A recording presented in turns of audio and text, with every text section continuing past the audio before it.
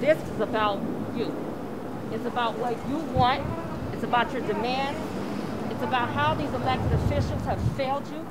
And as a mother, we are fighting for our children. We are fighting for our senior citizens. We are fighting for our disabled families. You are being punished for something that you have no control over. And it is time that we act now. We need to start banding together. Do not cut them any slacks. Do not let them get away with what they're doing to you. What they're doing to you is neglect. That is abuse. It should be a crime.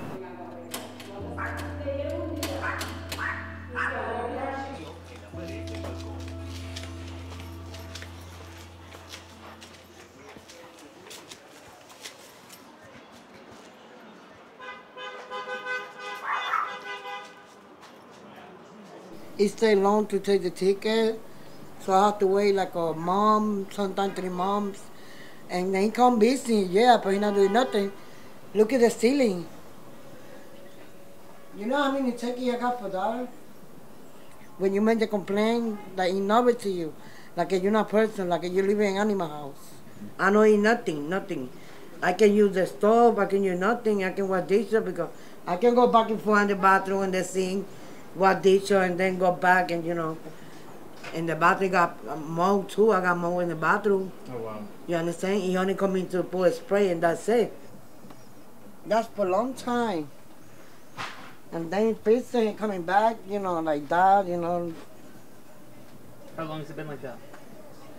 like a year because he put he put it back, he fixed it, and he put it back, but he coming back the same the same day. He coming back. Mm-hmm. I got that for a long time. The right coming from there for that hole. But I got a lot of damage in my apartment. A lot of damage. I love you. I have never seen them sanitize this, what we're in now. Never, never. But this is five. This is where we are. Okay, they mop.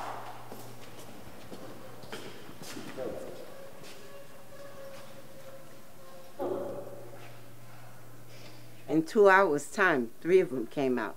So every night I just put the boric acid. So when I saw it there, I just take it and I put my own.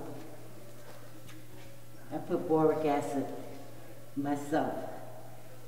And I have a space under my door, so I put two rugs. But all of this, I wanted to make sure. When I put in the ticket, they told me that my ticket was in since 2019. I have the ticket number and everything. And, you know, mm-hmm. when were they gonna like come here? You mean you couldn't touch me no day? The reason why my sofa is this way is because this is where it doesn't leak. My sofa used to be this way, and then I had to change it because of the, the leaks and everything. But last year, this sofa was a revolving door. But this part here was really, really leaking bad. So my son came, he threw out everything. He was like, Ma, he was like, call housing and see maybe housing could do you a paint job and maybe they could do you, you know, like a fix the ceiling. One time the, the ceiling had collapsed, so they came in and they did this, but I didn't paint it or anything. I was going to do everything. We got the stimulus money. I said, okay, you know, take that into. co- You call, they want five six hundred dollars for a studio. This is the main problem.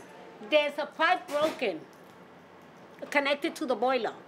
I went through the whole winter. Like I said before, my stove very hot. Like if I had the oven on, my kitchen, my refrigerator, I thought it was broken. How hot. They opened it up. They looked in there. They saw the pipe. Now they're trying to say that it's not here. It's next door. The wall is very hot. So I did call it in. I get nauseous, I get headaches, I get stomach ache, and also I get very bad asthma. Latina Brown, when she was here, it happened to her. She said, I gotta go. I gotta go outside. She felt better.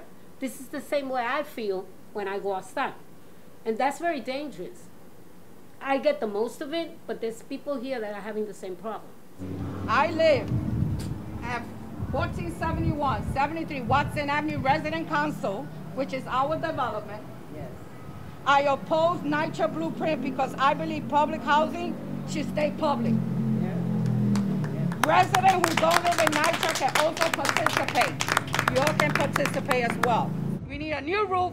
The pipes has to be all renewed because it's been 25 years that this building is deteriorating, is falling apart, and that's why NYCHA has been bullying us, the solution to tenants, because the first thing they want to say, I want to move, I want to move, because that's what they want.